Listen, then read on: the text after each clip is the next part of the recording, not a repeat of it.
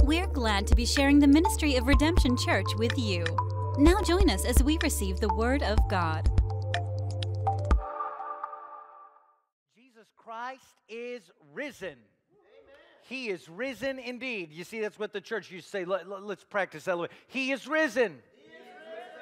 He is risen indeed, is how you would respond. Welcome, everybody, to Redemption Church. Happy Easter. Happy Resurrection Sunday. Greetings to everyone in the room, all you beautiful people in the room. Greetings to you, and greetings to all those that are experiencing the Word of God over the internets, over the interwebs, over the Facebook, over all those things that are the series of tubes that is the internet. God bless you guys. Happy Easter to all of you as, of well, as well. We've been in the middle of an unusual sermon series. Can somebody remind me the name of this unusual sermon series? Jesus loves meme. That's right. Meme, right? Early on, we thought, well, of course, we won't carry this sermon series over into Easter because churches usually do more of a traditional, you know, resurrection sermon on Easter. But then it hit us. Then it hit us. It hit us hard. We have the perfect meme for Easter. So we had to. So we are going to preach to you today from a meme, all right? Now, don't, don't don't get up and leave yet. Don't, don't. All right? Jesus Christ is still risen, and we're still celebrating the resurrection. All right. But but we have this perfect meme. Let's see this meme here. No, not the eggs one, not the bunny. No Easter bunny rabbit memes. No, this is the one. What if I told you? Look at somebody and say, What if I told you? This meme right here. Have you seen this meme? Raise your hand if you've seen this anywhere on the internet. Anywhere? Anywhere? All right.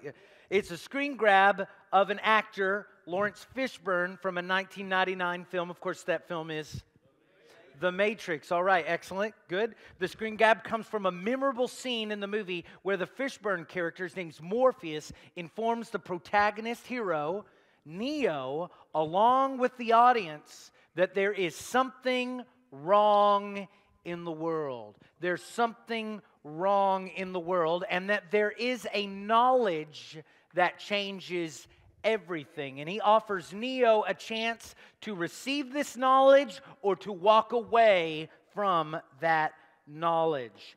So here's some ways that this uh, meme is used, all right? What if I told you standing up as soon as the airplane stops won't help you get off any sooner? Do we have that one up there? We don't have that one? Well, that's, that's one I've got written. It's not up there. All right, how about this one? What if I told you I don't care is not a restaurant? That one's really good. I'm going to, I would be tempted to use that in my family, but I probably am not going to do that. Right? Everybody says, hey, where you want to go eat? I don't care. What if I told you I don't care is not a restaurant? What if I told you you read the first line wrong? Oh, read it again what I if told you. All right. And then, of course, this one's just silly and an inside joke altogether. What if I told you I was Cowboy Curtis? And if you know who Cowboy Curtis is, high five to you, Pee Wee's Playhouse. All right, so I tried to make some for church people for this Sunday service. It goes a little like this What if I told you that the church isn't a building? It's pretty good, isn't it? What if I told you that with God, all things are possible. What if I told you, what if I told you the Bible wasn't originally written in the King James Version? Right. And what if I told you you could celebrate the resurrection even when it isn't Easter? Amen, right? You'll come back next week. We're going to have this again, all right? Excellent. The resurrection of Jesus is an absolute, what if I told you moment. We forget this as we become familiar with the story. Can I, can I just test you real quick? I want to see how familiar you are with the story. I'm going to ask some questions, and I want you to just shout out the answer if you know it. Jesus was beaten on his back with a. Very good, a cat of nine tails, also known as a whip, all right? Um, Jesus was taken from his disciples at the Garden of what? Gethsemane. Gethsemane. All right, good job. Y'all, y'all, don't be shy. Yell it out. Jesus was taken before what Roman leader? Pilate, Pontius Pilate, all right? What happened to Jesus' hands and feet? They were pierced. They were nailed to what? Uh, to a cross, all right. What did the Roman soldiers put on Jesus' head? A crown of thorns. Very good. What happened three days after Jesus died upon the cross? He rose again, absolutely. What woman was the first to see a resurrected Christ? Mary Magdalene. Y'all, y'all are killer. All right. Very, very good job. All right. Not killer, but really awesome. What if I told you today it all happened just as it was written? Think about that for one moment. What if I told you that everything you've read about actually happened and it happened the exact way we read about it? Jesus was taken in the middle of the night. Jesus was put through a sham of a trial by the biased Sanhedrin. That really, really happened. Jesus was brought before Herod and Pilate, and he really stood in front of them and he shut his mouth. Jesus was actually beaten, beaten so ruthlessly, viciously, almost killing him, yet he never raised his voice in anger or attempted to defend himself. Jesus walked through the city in a most humiliating fashion, willingly walked to Golgotha, the place of the skull, Calvary. Wasn't drug, wasn't forced, willingly walked. His hands and feet really were nailed to a crucifixion cross. Jesus actually wore on top of his head a painful mockery, a crown of thorns. His blood was shed. Out of his side flowed blood and water, and he breathed his last. He was taken and he was buried in a borrowed tomb. We, we sang about that just a moment. The, the tomb that belonged to Joseph of Arimathea. That really happened. Roman guards were stationed at the tomb to make sure that nothing happened to that body. But angels showed up on the third day. They rolled that stone away. That really happened. And Jesus really raised back to life. Jesus really is alive. What if this story that you're so familiar with, what if it really happened? And it absolutely happened the way it was written. There are plenty of historical accuracies in this story that you would at least have to say, well, what if? Right? Even people that have trouble with faith would have to look at this story and say, well, there's a lot of things that, that could be proven or disproven here. So let's look at them. If you think this story is made up fiction, I would ask you this Did the man Jesus Christ actually exist? History says absolutely yes. There is no question about it. He absolutely existed. But okay, was there a Sanhedrin? Yes, that is not a made up point in the story. Oh, yeah, okay, so it existed. But what about the people in the Sanhedrin that were specifically named? Did they exist and can we prove that they existed? Absolutely. Every one of those characters can be proven that they existed. It's historically accurate. What about Pilate and Herod? If the story is made up fiction, then Pilate and Herod must be made up fictional characters, right? No history clearly tells us that Pilate and Herod existed just as Scripture wrote in this location and at this time. Was there really a thing called a crucifixion? Would they really parade someone through a city and nail their hands and feet to a wooden cross? Yes, this is not fake news. This is absolutely the truth. History bears it out. We do not have a made up story here. This is real. Was there really a tomb? History says there was a tomb. History says that there was really a man in the Sanhedrin named Joseph of Arimathea. History says that the body of Jesus Christ, the dead body of Jesus Christ, has never been found, will never be found. Did Jesus really rise from the dead? Well, I got to tell you, everything else that we just went over is absolutely true, 100% verifiable, and yet people would question the resurrection. I get it, and I don't want to make you feel bad for ever questioning the resurrection if you're watching online or in the room right now. But I want to tell you, beyond history, there are many eyewitness accounts that were written by biblical and historical authors. So as you deny this story, if you deny this story, you're denying history. You are denying eyewitness. You are denying things that are written by people that wrote scripture, but also people that never wrote scripture. They were just historians. They weren't Christians. They just wanted to write down history. So you're denying them as well. But what if? What if I told you that it all happened exactly like it was written? There's so many reasons to believe the story. So, do you believe the story? In your heart, come back to that place real quick. Do I really believe the story? And if I really believe the story, shouldn't it make a difference in my life? Is it making a difference in your life? Next, I want to tell you this what if I told you that everything Jesus went through was for you? Everything Jesus went through was for you. All the abuse, pain, injustice, was something Jesus went through for you. If you want to turn off that phone, you can. It's right there. You're looking for it. I saw you. All right. All the pain, all the abuse, all the injustice he went through was for you. It wasn't that this horrible crucifixion happened to him. Come back to me. Listen.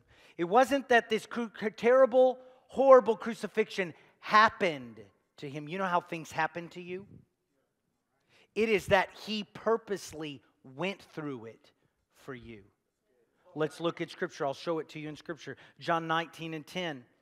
Do you refuse to speak to me? Pilate said. Don't you realize I have power either to free or to crucify you? And Jesus says in verse 11, John 19 11, he says, Jesus answered, You would have no power over me if it were not given to you from above. He's stopping Pilate. He says, You think you are the one in control of this situation? You have the power to free me or to kill me? No, it is not you killing me. You're not the one crucifying me. He also said this in John 10, verse 17 and 18. He says these words He says, I lay down my life only to pick it up again. Verse 18, no one takes it from me. He says, no one takes it from me, but I lay it down of my own accord. I have authority to lay it down and authority to take it up again. This command I receive from my Father. Do you realize that everything he went through on the cross was for you. It's not something that happened to him. It is a debt. It is your debt that he paid on the cross. It is something he purposely decided to do out of love for you. It was for your benefit. Everything he went through on the cross. One prophecy, one single prophecy, one single chapter of prophecy in Isaiah chapter 53 says this about what he did for you on the cross. He bore your pain and your sorrow. That's what it says. Your pain, your sorrow. He was pierced and crushed for your willful sins. He was punished to purchase us peace. And his wounds do what? They heal us. Everything he did on the cross. Everything he went through on the cross was for you. What if I told you that? Would you believe that? Would that change how you feel about God and his love for you? Would that change how you feel about this story? Is this just the story where you show up one time a year on Easter? Or maybe he's done these things for you. You ought to be walking in these things that he has purchased for you. This is not simply a story that you hear, it is truth that you receive and it affects, restores, heals, redeems, and it blesses your life. I want to want to bring this home to you that there are three points to a what if I told you. Here it is. Number 1, it's usable knowledge. Usable knowledge. That number 2, you should already know. You ever have usable knowledge that you should already know? And it's like, why didn't I know that? That's a what if I told you moment right there. What if I told you that you could actually use your blinkers in your car, right? I say that often on 75. It's, it's usable information that you ought to already know. Yet, number three, you are not utilizing. Usable knowledge you should already know, yet you are not utilizing it. The story of Jesus is important, isn't it? Oh, yeah. Is it life changing knowledge? Can anyone else defeat death? Can anyone else save us? Can anyone else heal us? No. Is it life changing knowledge? Number one, it's absolutely powerful, life saving knowledge. But the majority of people who will hear this message already know the story. The majority of people in the room, I, I'm pretty sure that the majority of people online, hello, you already know this story. I'm not telling you things about this story you have not already heard hundreds of times, perhaps. We checked earlier if you were familiar with the story. You are all intimately familiar with small details of the story. I imagine the majority of people all over the world that filed into churches today We're familiar with the story. It's usable information that we already ought to know, yet we're not fully utilizing its power usable information that we ought to already know, yet we are not fully utilizing the power of it. What if I told you if all it all happened as it was written? Go back to that idea. What if I told you it all happened as it was written? You know the story, but do you really believe it? Do you believe part of it, but not all of it? Do you believe that a good man died but he wasn't necessarily the Son of God? Do you believe that he died unjustly, but he wasn't raised from the dead? Do you live out this story every day? If, if it all happened as it was written, do you actually live out this story? And do you thank God daily for this story? How about this one? Do you share this story? with other people. If I told you it all happened just the way it was written, and you don't tell someone about it, do you really believe it? Do you really believe it? What if I told you that everything Jesus went through was for you? I'm going to come back to that idea. You know what happened on the day Jesus died, but do you receive what he purchased for you on that day.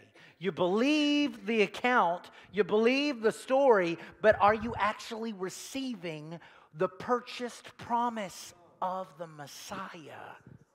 And are you doing it daily? Have you let him bear your pain and sorrow? He bore it for you. What are you doing still carrying that thing? He bore your pain and your sorrow. Absolutely. Have you turned away from your sin, leaving them at the cross where he was crushed and he was pierced? He was crushed and pierced for your willful sins. Are you still carrying your sins around? Have you left them at the cross? Are you walking in the peace that he purchased as he was chastised? Oh my goodness, I know so many Christians that are not walking in peace. My goodness, how do you believe in the cross but not believe that he's got peace for you today. He went through hell so that you could live in peace. He went through the worst kind of mockery so that you could have peace. Everything, the pain, the torment of those nails was so that you could have peace. Do you have peace? If you're not having peace, then in a way, no one freak out and run away. If you are not living in that peace, it's almost as if he failed. Now, he didn't fail. It's not a failure on his part. But he did this so that you could have this. He did this, but you don't have this. Somewhere, something is failing. You need to have peace today. You better leave this place with peace today. Some of you walked in with no peace. You're going to leave with peace today. Will you do it? Do it. Are you allowing His wounds to heal you? His wounds heal you. Are you allowing that? Heal your physical, heal your emotional, heal your spiritual, heal your mental, any area of your life that is hurting. He can heal. That's why he took the wounds. I do not understand Christians that don't believe in healing. There are Christians that came today and they read about the stripes that he bore on his back, but they don't think he still heals. That makes zero sense. You're denying the power of the cross if you deny the power of his healing. You're denying the power of the cross if you're denying the peace he will give to you. You are denying the power of the cross if you are still carrying your sin with you. You're denying the power of the cross if you are still trying to bear your own pain and sorrow. Is there anybody in the house that is willing to not deny the power of the Christ, but, but to fully accept and receive the power of his cross today? Now, I'm going to be drawing to a close very, very soon. I want to challenge you to do something with this moment because we're in a moment and it's going to pass just like that. But before this moment is over, I challenge you to do something in the moment. What if I told you Jesus really died on the cross for you? Shouldn't that do something to you? Have you gotten to a place where that just doesn't affect you anymore? What if I told you he really was buried in a dark tomb? What if I told you the hope of the world was dead? What if I told you that he went down to hell? He descended into that captivity that is hell. He went through that. What? I mean, does that do anything to you? Does it? What if I told you that he defeated death, hell, and the grave when he rose up to new life? Is that your joy? Is that your peace? Or is that not big enough for you? Like that victory isn't big enough for you. You're really worried about this problem at work. Like that is bigger than that victory of defeating death. Do you see that? is that you? Is that you today? Can you not think about Jesus because of this huge problem and you are not understanding the proportion of his power and the proportion of your problem. The proportion is just get out of town because the proportion of his power is so much better than all your problems. Than all your problems. What if I told you he really was nailed to the cross, that he actually felt every bit of that agony as he hung on nails that went through his hands and feet, that he pulled on them to get a breath of air. Your Jesus that you just sang about literally felt these things. He felt these things. Everything in him physically wanted to get off the cross. Just like everything inside of you, you touch a hot stove, everything in your body says, Get away from that. Everything in him did, felt the very same thing, but he remained there for you. Does it do anything? Does that, hello, I'm trying to check for a spiritual pulse. Does that do anything inside of you? What if I told you that everyone turned their back on him? That no one testified for him? That no one tried to protect him and save him?